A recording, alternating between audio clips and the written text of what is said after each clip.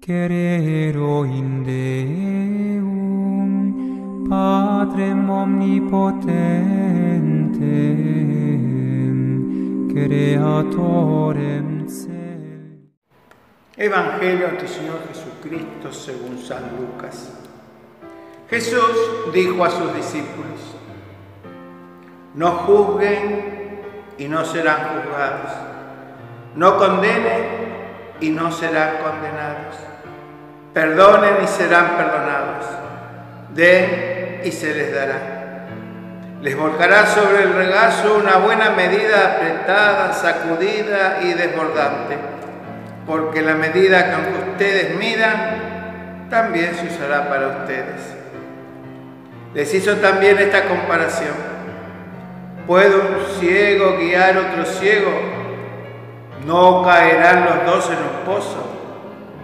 El discípulo no es superior al maestro. Cuando el discípulo llega a ser perfecto, será como el maestro. ¿Por qué miras la paja que hay en el ojo de tu hermano y no ves la viga que está en el tuyo? ¿Cómo puedes decir a tu hermano, hermano, deja que te saque la paja de tu ojo, tú que no ves la viga que tienes en el tuyo?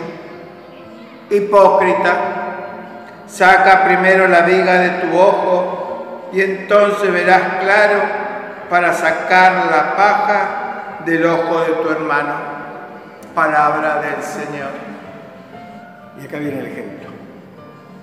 Aún en la misma familia pasa esto. El hombre está trabajando, tirándose abajo de un auto, revolcándose. Y después resulta que mientras hace eso, estudia. Y llega a ser un gran ingeniero. Pero como yo lo he visto crecer, ¿qué hago? Lo sigo tratando igual. No es que ese merece más. Claro, ese merece más.